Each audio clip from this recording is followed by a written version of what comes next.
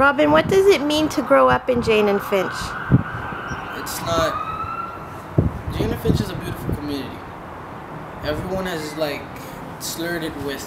It's a bad community. No one's good about it. You know, there's nothing good about it. Kids would fight. You know, that's just like to me. Growing up in Jane and Finch was the best thing that happened to me. To realize that there's so many outreaches, so many resources, and so many people that are there for you. I find like Jane and Finch from all of these communities, they work hard and tight. They work with their, their youth. Growing up with Jane and Finch made me realize there's a positive and there's a negative side to life.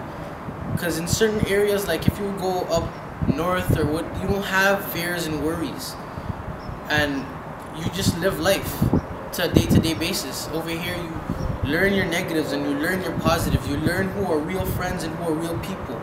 You know, you realize that time is everything and everyone's like important. You learn so many things that like and Finch has groomed me up to be the person I am today for community wise.